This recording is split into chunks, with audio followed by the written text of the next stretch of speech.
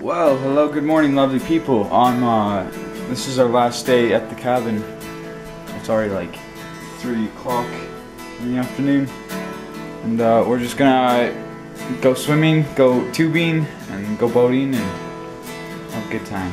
Fuck, my leg hurts, so.